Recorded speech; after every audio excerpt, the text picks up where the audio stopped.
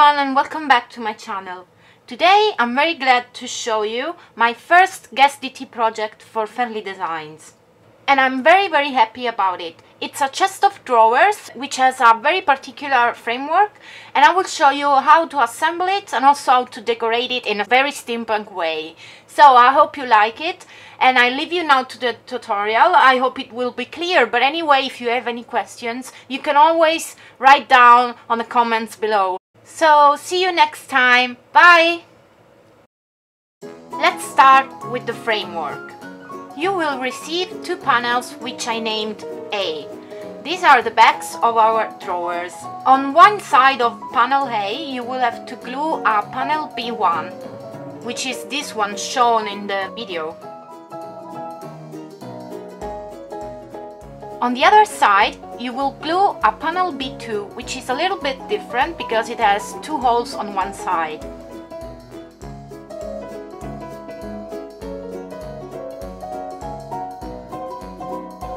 Panel C will create a flat surface on which you will put your drawers.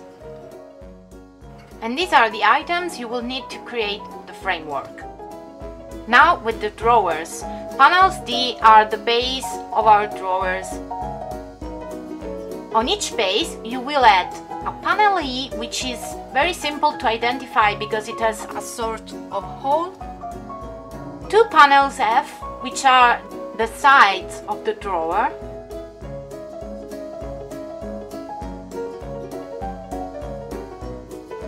and a panel G which is the back.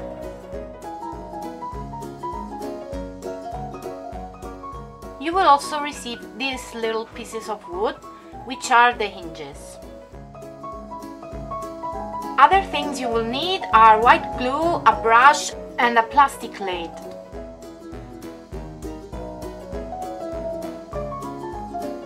Let's take panel A and panel C.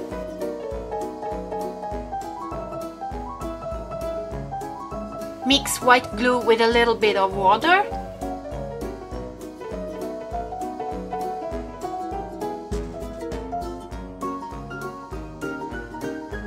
And put it on the wider side of panel C.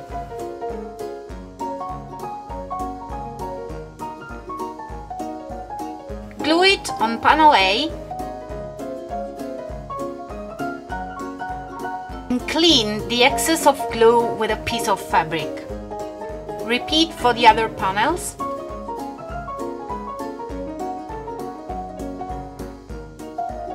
And set aside to dry. And now let's put the glue on the sides.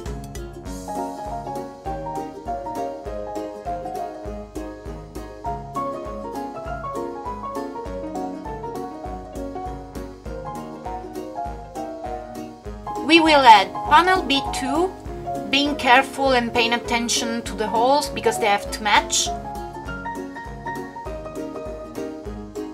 And we will do the same for panel B1.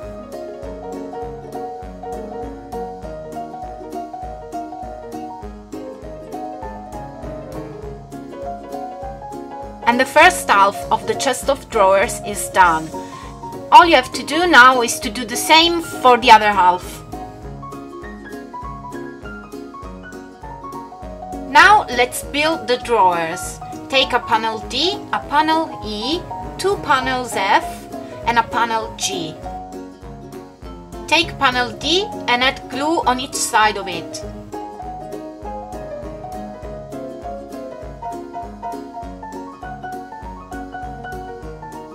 Now you can add panel E and panel F, being careful to glue the sides.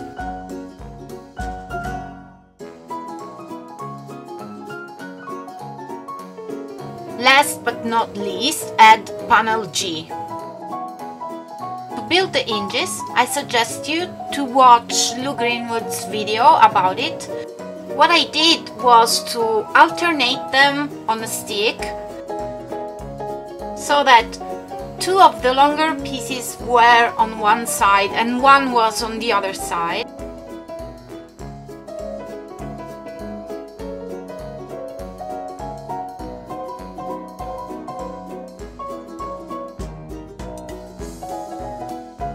And then I put glue on the holes and simply push the hinges inside of them, being careful to put the shorter pieces before.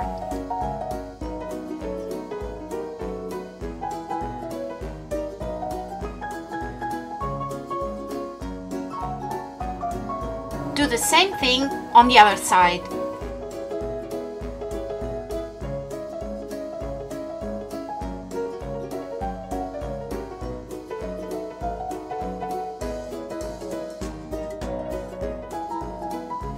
Suggest you to add glue also to the center pieces because uh, I found out they come out after a while if you don't do it. Ta-da! Our chest of drawers is done. As you can see the hinges work perfectly.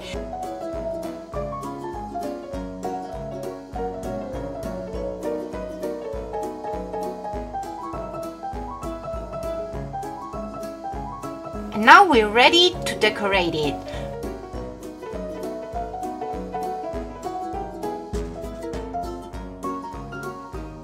I decided to use this medieval hinge and also these cogs and gears by Fernli Designs. I'm taking my Prima Marketing Color Bloom Antique Gold and I spray it on a plastic lid and I paint my hinge just with the fingers.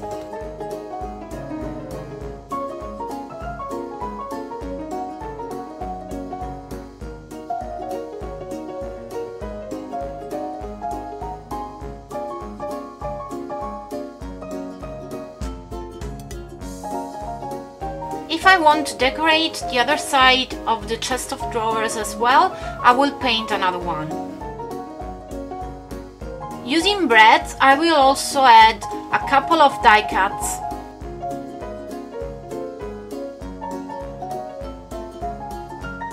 I decorated my cogs and gears with this rust effect. If you want to know how I did it, all you have to do is to click on the link above. The next step is to pull out all the drawers. Take a rubber band and use it to close the chest of drawers.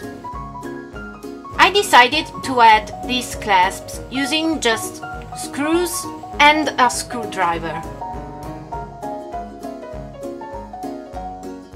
This will keep it closed when I bring it from one room to another one. And by the way, they're very steampunk. Now it's perfect.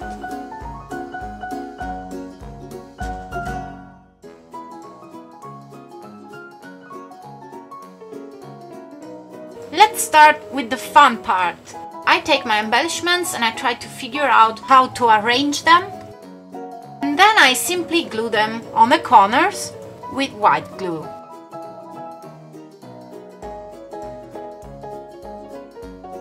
And I will decorate the other side in the opposite way.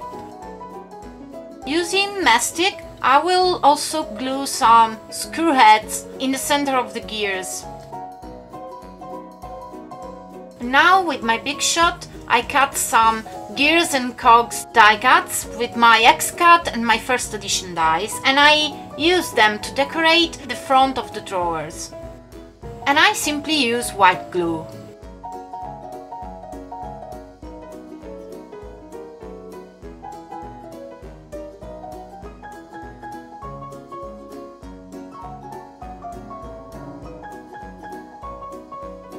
The last thing I will do is to add some sparkles using a gold glitter in the center of the cogs.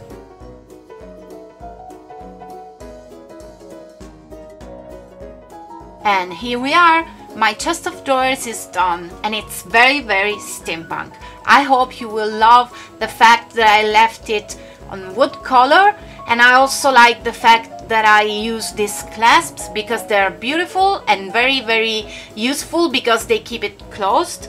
There's a lot of space inside. You will see I put many many different embellishments inside and I also like the fact that I could decorate it even though there was no room for decorations because it has to close and as you can see here I put all my Fernli Designs embellishments you can also put flowers buttons and also why not a set of wooden stamps so this is my project for the month of March for Fernli Designs. I really hope you liked it. And if you want to discover a wooden wonderland, please visit www.fernlidesigns.com and also subscribe their Facebook page and stay tuned for my next videos because I'm sure guys that we will have a lot of fun. Now I leave you and I'll say goodbye, see you next time and thanks for watching. Bye!